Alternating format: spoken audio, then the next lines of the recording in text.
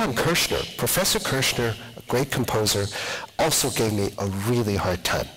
He said to me, kid, I'm going to be your boulder in the road. He's a big guy. And boulder in the road?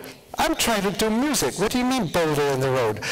Well, he says, you know, you play the instrument very well, but you haven't found your sound.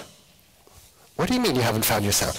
I I play the instrument. I make sounds. Says, no, no, no, you don't understand. You don't have a, you haven't found your voice.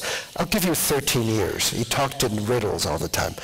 And I might have dismissed what he said had I not been so unbelievably respectful and admiring of his great imagination.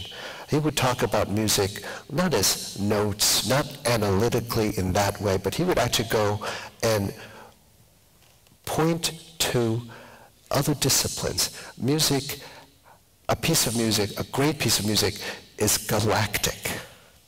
It had to have more than three dimensions.